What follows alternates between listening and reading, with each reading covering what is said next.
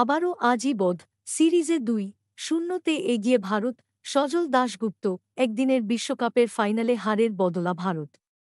প্রথম T twenty ম্যাচে জয়ী হওয়ার পর আবারও সূর্য কুমারের নেতৃত্বে টি দুই শূন্য ক্রিকেটে অস্ট্রেলিয়ার বিরুদ্ধে জয় পেল।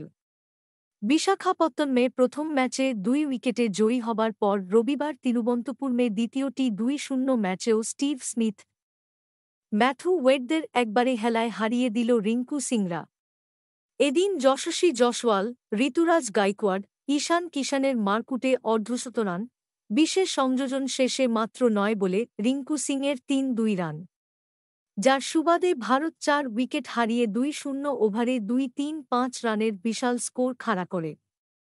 দুই তিন ছয় রান করলে জিততে হবে, এই পরিস্থিতিতে ব্যাট করতে নেমে ধারাবাহিকভাবে উইকেট হারাতে থাকে অজিরা স্টোয়াইন স্টিম ডেভিড ও ম্যাথু ওয়েট ছাড়া কোনো ব্যাটারি ভারতীয় বোলিং এর সামনে দাঁড়াতে পারেনি। শেষ পর্যন্ত দুই শূন্য ওভারে নয় উইকেট হারিয়ে এক নয় এক রান তোলে।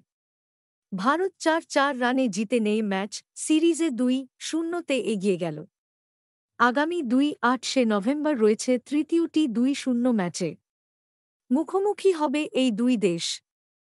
ওই ম্যাচটি জিতলেই সিরিজ জিতবে ভারত। সেক্ষেত্রে অস্ট্রেলিয়ার কাছে বিশ্বকাপ ফাইনালে হারে কিছুটা হয়তো প্রলেপ দিতে পারবে সূর্য কুমার যাদবের নেতৃত্বে টিম ইন্ডিয়া।